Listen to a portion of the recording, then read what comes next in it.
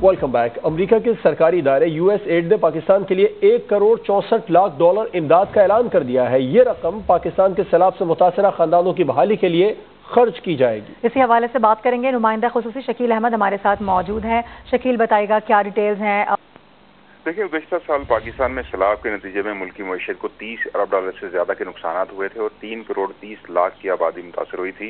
USAID अब तक 20 crore dollar की इमदाद फराम कर चुका है और अब मजीद एक करोड़ चौंसठ लाख डॉलर इमदाद का ऐलान किया गया है।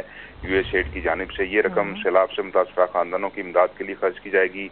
दो करोड़ मुतासर अफराद को बहाली में मदद मिलेगी और साथ ही कहा गया है कि फ़ूड सिक्योरिटी गजाई किल्लत बीमारियों के फैलाव पर काबू पाया जा सकेगा और बच्चों और खुवान को ज़्यादा गजाइत वाली खुराक फ्राहम की जाएगी और मुस्तबिल में कुदरती अफवाह से निमटने के लिए इंफ्रास्ट्रक्चर की तमीर में मदद मिलेगी। ठीक है इस हवाले से आपने आगा किया। बेहद शुक्रिया।